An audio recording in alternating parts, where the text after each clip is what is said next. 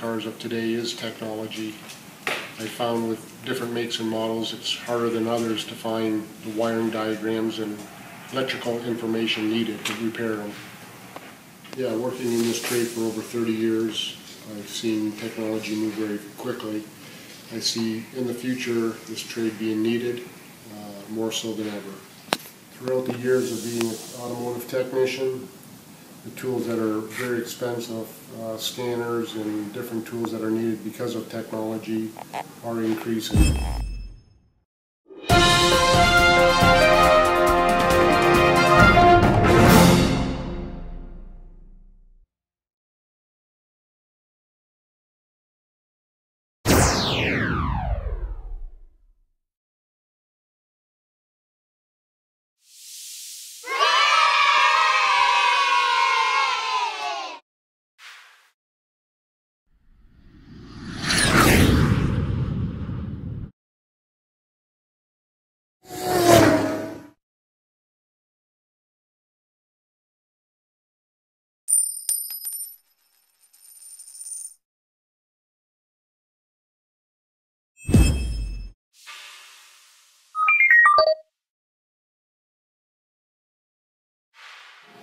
Hi, we're going to uh, change the engine oil in this car.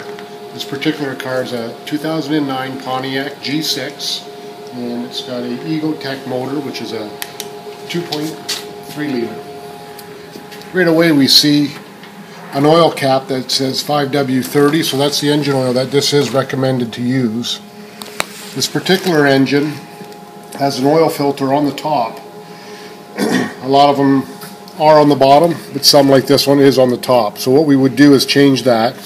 There's a special tool to remove this housing and you will find a oil filter cartridge.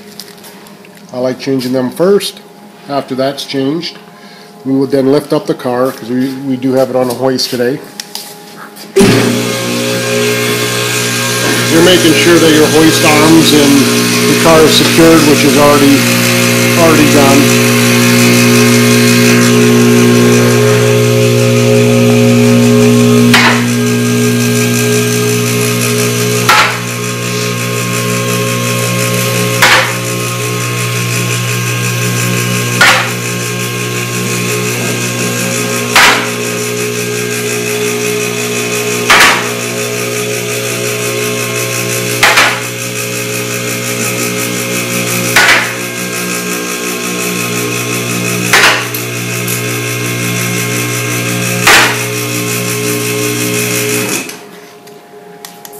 Once we reach this height, we can also check the brake pads, the thickness of the pads themselves against the brake rotors.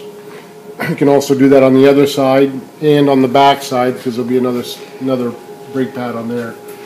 These are the things you can look for as a, as a technician.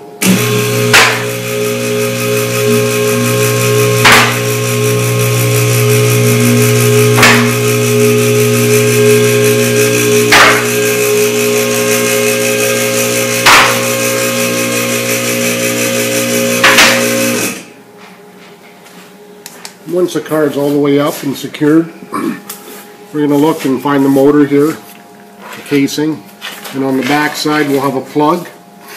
That will be the plug to be removed to drain the crankcase. Once it's drained, we're going to put that plug back in, secure it, bring down the car, fill it up with proper fluids, and recheck it.